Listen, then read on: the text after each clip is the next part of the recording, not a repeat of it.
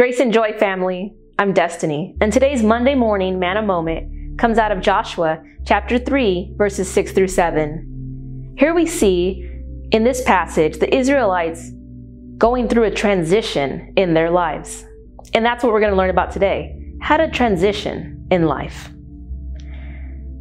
We see that Joshua was commanded to have the Ark of the Covenant go before them. And the promise that the Lord gave him was that today he would be exalted in the eyes of the people, and that just as he was with Moses, he would be with Joshua. Now, this was a command and instruction for the entire Israelite community. Everyone was called to lay everything on the line, and they were to go in the direction of the dangerous Jordan River. Now, it was dangerous because there was mudslides and seasonal flooding, and once you were in, there was no way of escape. Do you have any transitions that you're facing in life this morning? That's wrought with danger, maybe some hardship. Well, from this passage, we can learn a few things. One is that God will be with you.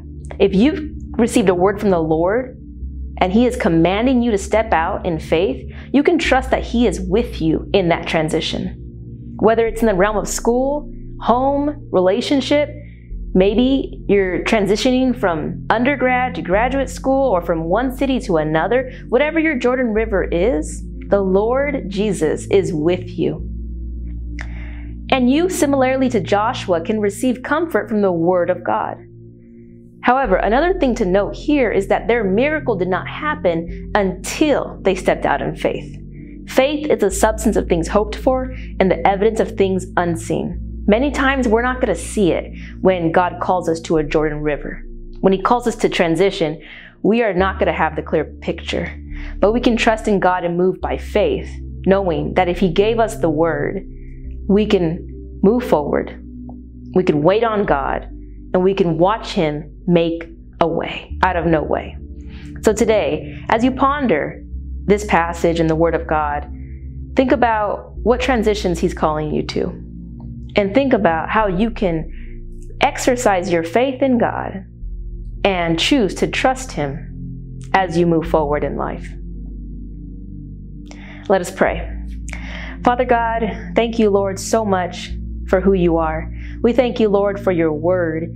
We thank you, Lord, that in every season, no matter what we're going through, no matter what transition we are headed towards or what transition we're coming out of, Father, that you are the same God that has promised to be with us.